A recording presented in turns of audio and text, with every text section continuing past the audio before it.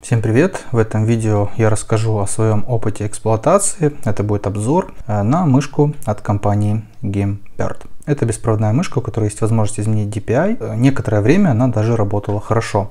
То есть по первости, первые буквально несколько недель она работала просто отлично. Поддерживается Windows 7, 8, 10 и в принципе она у меня хорошо работала и на десятке, и на 11 Windows. Сама мышка за время эксплуатации не сломалась, ничего не откололась, не отколупалась. Она в нормальном достойном состоянии, хотя надпись GameBird и стерлась. Эту мышку я уже сдал в магазин, потому что целом а, ее продиагностировали и, собственно, сделали вывод, что она не работоспособная. Сейчас коротко расскажу о том, какие у нее есть проблемы, и вы сделаете для себя вывод, стоит ли ее покупать. Мышка имеет возможность включения-выключения, есть отдельный переключатель.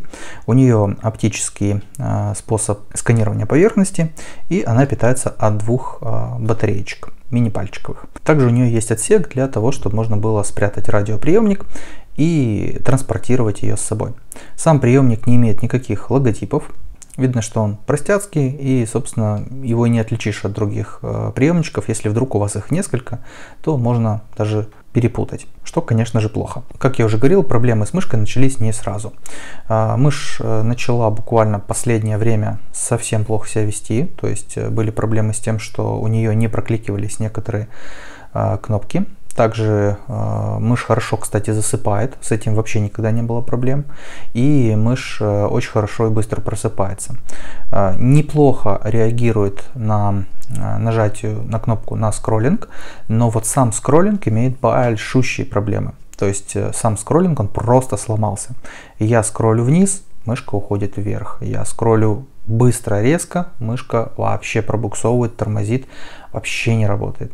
То есть быстрый скроллинг вообще практически не работает, а медленный, плавный, аккуратный, он, к сожалению, отрабатывает иногда вообще в другую сторону. В сервисе сказали, что да, мышь уже вышла из строя. И вердикт таков, что мы вам мышку поменяем. Какую хотите, выбирайте. Я выбрал Logitech. На втором канале у меня уже есть первое впечатление от моей новой мышки Logitech. По поводу скроллинга, у него есть один плюс, это то, что у него очень хорошее, приятное колесо прорезиненное. Но сам скроллинг, э, буквально, как я уже говорил, последнее время, он просто проваливался. То есть очевидно, что скроллинг э, не выдержал даже простых э, базовых манипуляций по эксплуатации, не говоря уже о каком-то профессиональном использовании типа гейминг.